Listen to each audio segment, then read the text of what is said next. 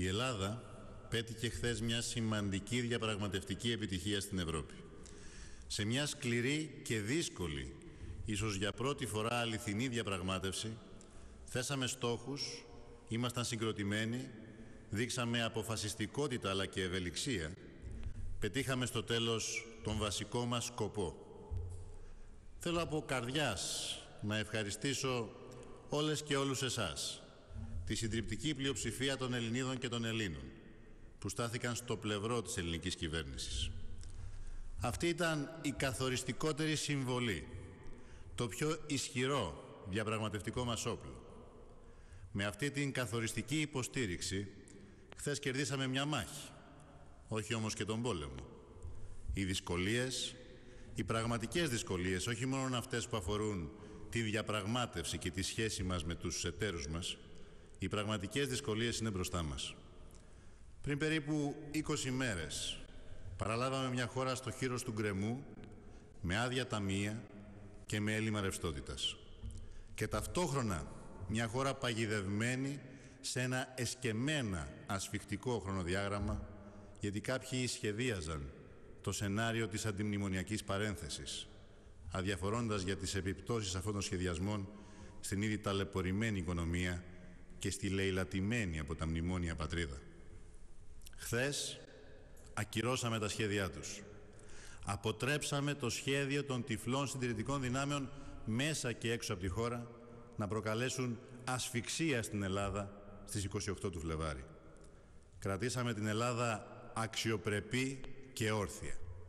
Αποδείξαμε ότι η Ευρώπη αποτελεί πεδίο διαπραγμάτευσης και αμοιβαία βιώσιμων συμβιβασμών και όχι πεδίο εξόντωσης, υποταγής και τυφλής τιμωρίας.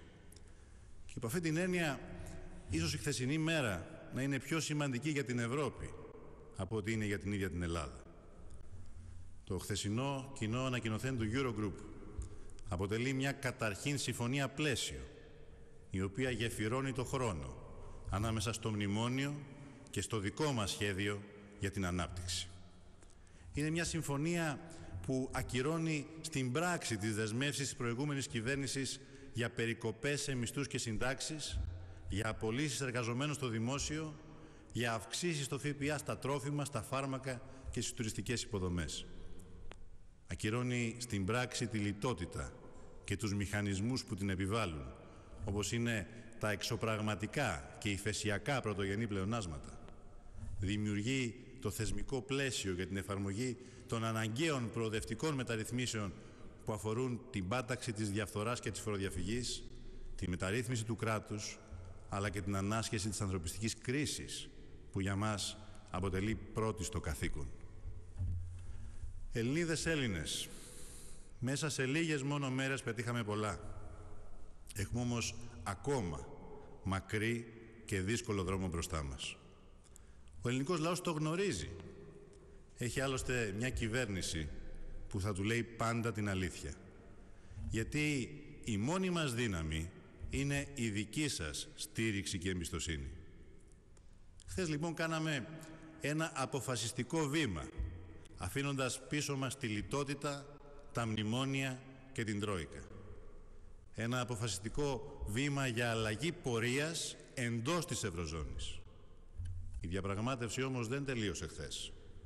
Η διαπραγμάτευση τώρα μπαίνει σε ένα νέο, πιο ουσιαστικό στάδιο μέχρι την οριστική συμφωνία μετάβασης από την πολιτική των μνημονίων της καταστροφής στην πολιτική της ανάπτυξης, της απασχόλησης και της κοινωνικής συνοχής. Σε αυτή τη διαρκή και δύσκολη μάχη, σε αυτή την ουσιαστική διαπραγμάτευση με ορίζοντα τον ερχόμενο Ιούνι, η ελληνική κυβέρνηση θα πορευθεί με ακόμα μεγαλύτερη αποφασιστικότητα, με γνώμονα πάντα την αποκατάσταση της εθνικής και λαϊκής μας κυριαρχίας και με μοναδικό σύμμαχο, συμπαραστάτη, αλλά και αυστηρό κριτή ταυτόχρονα τον ελληνικό λαό. Σύμμαχο, αλλά και ενεργό συμμέτοχο στη μεγάλη μας προσπάθεια για την πολιτική αλλαγή και την κοινωνική σωτηρία στην πατρίδα μας. Ο κοινός μας αγώνας συνεχίζεται.